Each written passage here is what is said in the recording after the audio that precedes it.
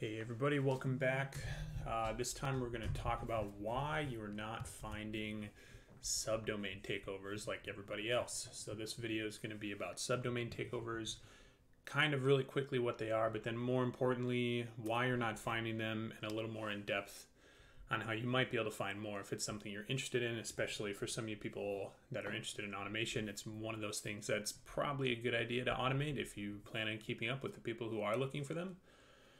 So, first things first, subdomain takeover is basically using DNS records of some kind or another, which we'll go into later, to take over a subdomain or domain that someone owns because they left basically a dangling DNS record that no longer is there that you have the ability to grab and make your own, which would lead to phishing campaigns or defacing or cookie stealing, um, et cetera, et cetera. There's more on that uh, on other resources on the internet. I would encourage you, if you're just learning about subdomain takeovers, to go look at stuff by Frans Rosén. I think has a couple talks and blogs on it. Um, and then Zero X Patrick as well has a whole, I think, four or five blog posts on all the different kind of subdomain takeovers. So go check that out as well.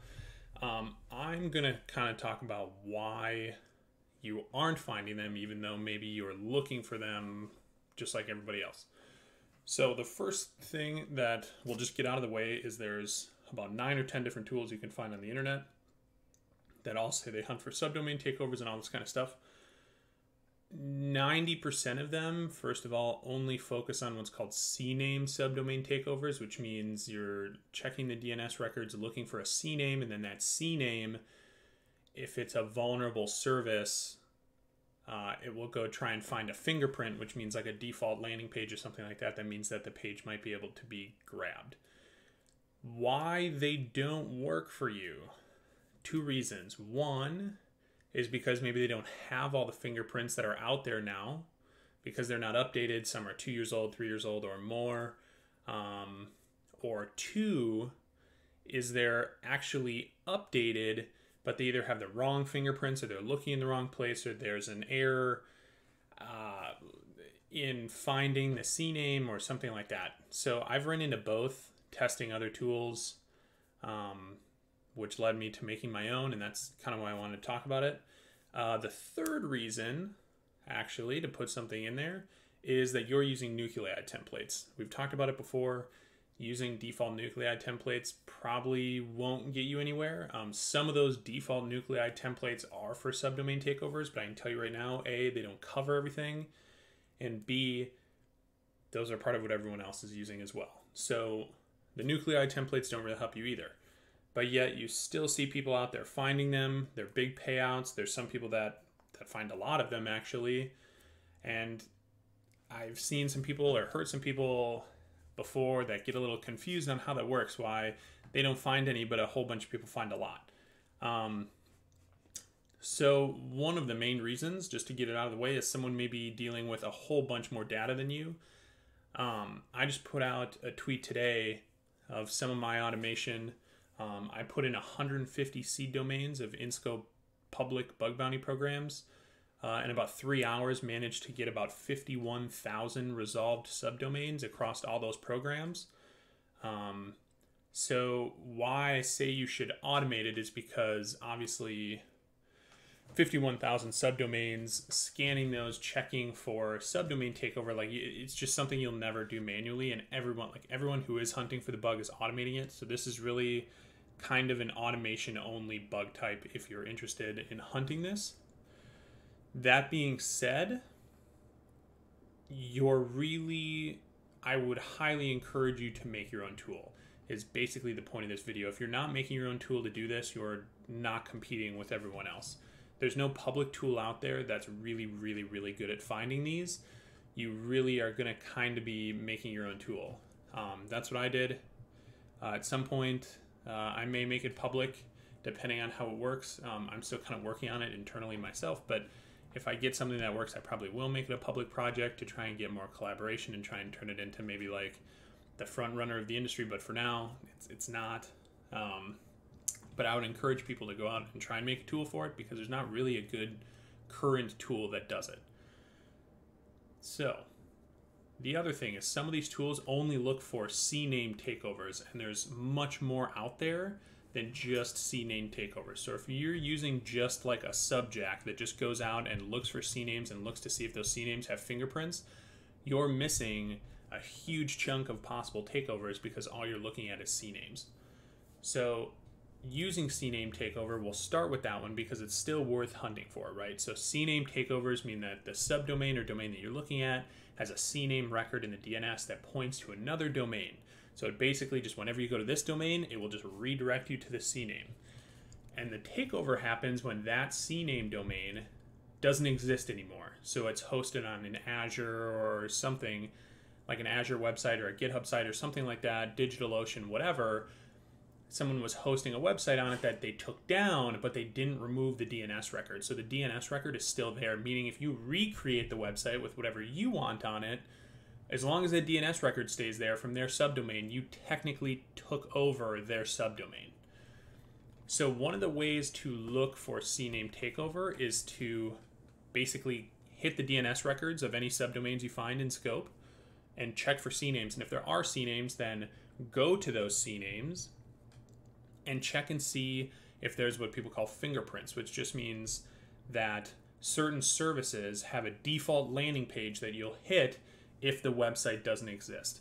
And where you would go to find those, once I get rid of my banner page here, is this repository by EdOverflow and I think Codingo and a couple other people that started it um, called Can I Take Over XYZ?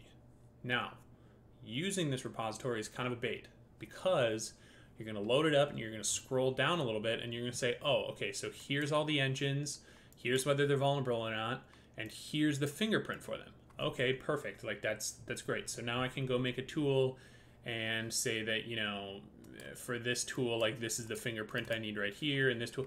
That's not correct. Where you'll the reason why that's not correct is they were correct at some point, but they're not updated all the time because the fingerprints change as the services change and the landing page change, and that's part of the game. So the best place to go find the current fingerprints is actually in the issues and going through the issues and actually finding like short.io takeover github you know gitbook subdomain or whatever um, some of these issues are linked on the front page. So like for instance if i was looking for agile crm I, I really don't care about this stuff. I mean i care that it's vulnerable but i would go look at the issue for it and then scroll down and, and kind of read and make sure that you know everyone you know that in the comments here that it didn't change at some point.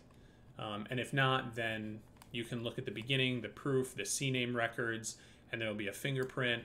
And then that's what you would go for is you'd say, okay, so anytime I see a CNAME that's something.agilecrm.com and it has this fingerprint, sorry, this page is no longer available, I could have it ping me, notify me, email me, whatever, that whatever subdomain was a, was CNAMEd to this agilecrm.com CNAME, domain might be available for takeover. Now, again, you have to do more research and make sure they, they are still able to be taken over and, and whatnot, right? But the issues here down the side and even in the issues tab up here are what's going to tell you the like current fingerprints currently if a pro uh, if a service is take like able to be taken over or not um, so the issues are your friend just so you don't get confused when you go to this repository you want to go through the issues not just the front page, the issues. Now, outside of CNAME, when you move away from CNAME, most people be like, okay, good, I'm done.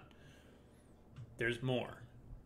And the next kind of step would be name server or NS and mail server MX takeovers. Now, all you're doing is something very similar to CNAME, just like not quite the same because there's not a fingerprint all the time. But all you're doing is querying someone's DNS and seeing the name servers. There's normally multiple nowadays for a lot of them, but you're querying all their name servers, for instance, let's say, if they have NS records. And then you're going to those name servers and seeing if any of them are available. Right? And if they are, let's say uh, my domain, you know, sub.example.com has three name servers name server one, two, and three, and the third one ends up being able to be taken over. technically speaking, since there's three name servers, each name server should get a third of the traffic. And then they'll redirect you to a domain. So two of the name servers are legit, and one of them I was able to take over, which ideally means, in a perfect world, a third of the traffic will go wherever I tell it if I take over that name server. Which then means you can redirect, you can use the name server to be like, oh, this subdomain actually points here, and, and yada, yada, yada, right? And you can do very similar takeovers. Okay? Now, there's also help for name server takeovers. And it's a very similar repository called Can I Take Over DNS, which provides, as you can see at the top, a list of DNS providers and whether their zones are vulnerable to DNS takeover. Right, so you see double zero or triple zero domains, Route 53, Azure, Bizland, Cloudflare, uh, DO, DNS Made Easy, DNSimple, whether they're vulnerable or not, and then a fingerprint for what their what their uh, name server domains look like, right? So anything star dot star.nscloudflare.com is a Cloudflare and it's an edge case, whether or not it's vulnerable, but like DigitalOcean. So there's normally nameserver.digitalocean.com. And then there's takeover instructions on how to take it over.